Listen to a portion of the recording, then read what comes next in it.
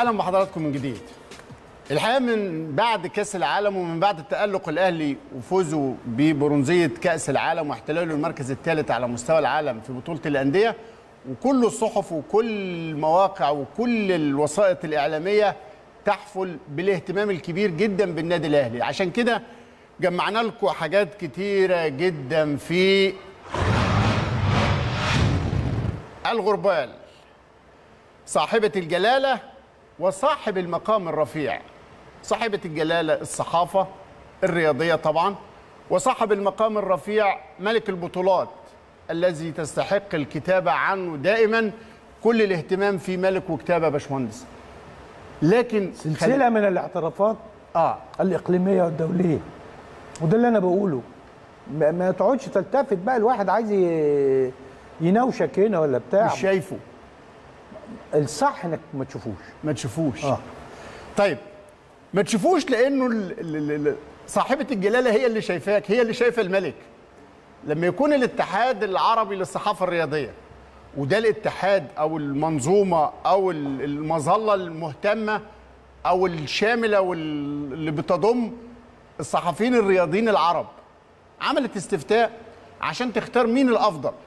في كل فئة من فئات التنافس الرياضي. مين أحسن لاعب في داخل الوطن العربي أو داخل الأندية العربي مين أحسن فريق أو مين أحسن نادي في الوطن العربي؟ مين أفضل اللاعبين العرب المحترفين في الخارج؟ الحقيقة صديقنا العزيز والناقد الرياضي الجميل صديقك مصطفى جمعة من الكويت زف إلينا تفاصيل هذا الاستفتاء المهم جدا اللي أجرته آه، أو أجراه الاتحاد العربي للصحافة الرياضية. كانت الأخبار المسعدة جدا والسعيده جدا للنادي الأهلي. فوز الأهلي بلقب أفضل نادي عربي من خلال هذا الاستفتاء اللي زي ما بقول لكم شارك فيه 177 صحفي رياضي من مختلف الدول العربية. أنا بس عايز عشان تعرف قيمة بيمثلوا 18 قيمة- دولة عربية. أن أن يزف إليك الزميل العزيز مصطفى جمعة هذا الخبر. أيوة. مصطفى جمعة ده كان أول مدير لقناة ال- ولا حد تاني؟ كده تشابهت الأسماء عليه. تشابت الأسماء عليا آه. مصطفى جمعة الصحفي الكبير الناقد الرياضي اللي أسرى الصحافة المصرية والخليجية الحقيقة لأنه بيعمل في الكويت من سنوات بعيدة. الاسمين محترمين جدا كنت حشيد بيه صحيح. فالاشاده تروح ل- لمصطفى جمعة. صاحبها. صاحبها. صاحبها. طيب. الاتحاد العربي للصحافة الرياضية استفتى 177 صحفي من 18 دولة في استمارة اختيار كانت الأصوات. أفضل الأندية العربية النادي الأهلي. جه في المركز الثاني نادي الهلال السعودي جه في المركز الثالث نادي الزمالك الشقيق جه في المركز الرابع نادي نهضة بركان المغربي. إذا الأهلي الأول الهلال السعودي الثاني نادي الزمالك الثالث نهضة بركان المغربي الرابع. عايز أتوقف عند نهضة بركان آه. الذي سوف نلتقيه في آه، على كأس السوبر. آه كأس سوبر آه، ده معناه إيه؟ أيوه. إن هو في مقدمة الأندية المغربية أيوه. ها وهو رابع آه، التصنيف في رأي ال- النقاد اللي هم خبراء. أيوه. آه، فالحذر واجب جدا والناس لازم تفهم إنها هتبقى مباراة شديدة المنافسة والصعوبة. طيب هذا الاستفتاء كمان اللي بيشرف عليه الزميل الأستاذ محمد جميل عبد القادر رئيس الاتحاد العربي للصحافة الرياضية واللي أكد سعادته بنجاح فكرة الاستفتاء على هذا النحو. فاز فيه علي معلول التونسي نجم النادي الأهلي بجائزة أفضل لاعب عربي داخل الوطن العربي. داخل الدوريات المحلية علي معلول علوله أحسن لاعب عربي. حصل كمان آه، مع علي معلول في المركز الثاني بغداد بونجاح الجزائري لاعب السد القطري بعد منه عمر السومة بغداد السوري. بنجاح يقدم آه، موسم شديد النجاح. آه. وهداف من طراز فريد يعني.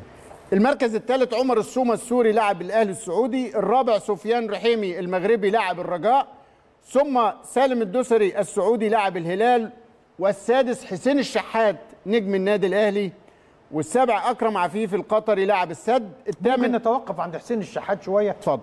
ما هو دول خبراء 177 صحفي. أيوه. من خبراء من النقد 18 الرياضي. دولة. من 18 دولة. آه.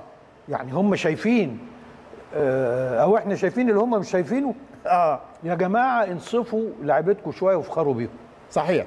جه في المركز الثامن علي مبخوتي الاماراتي لاعب الجزيرة والتاسع محمود الوادي الفلسطيني لاعب بيراميدز المصري.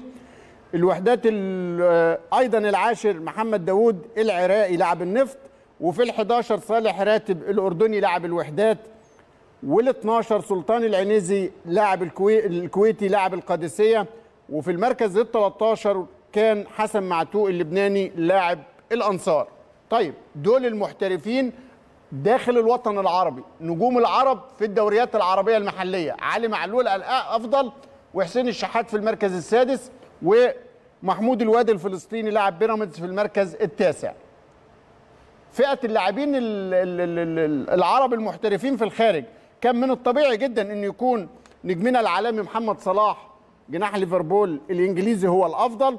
جه في المركز الثاني رياض محرز لاعب مانشستر سيتي والثالث أشرف حكيمي المغربي لاعب إنتر ميلان.